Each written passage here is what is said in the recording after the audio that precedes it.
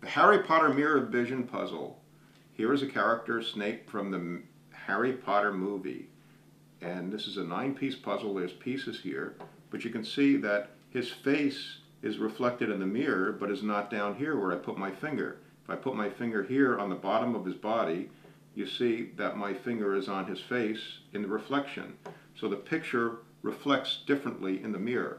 And the object of the puzzle is to take the pieces out and try to get them back in the correct piece. And it's a nine piece puzzle and it's a little tricky. It's doubly tricky because of the mirror. And there are actually two puzzles on both on uh, the other side. There's another puzzle with another Harry Potter character. And that's the Harry Potter Mirror Vision puzzle. And here is the other side of the puzzle, the picture of Dumbledore from the Harry Potter movie.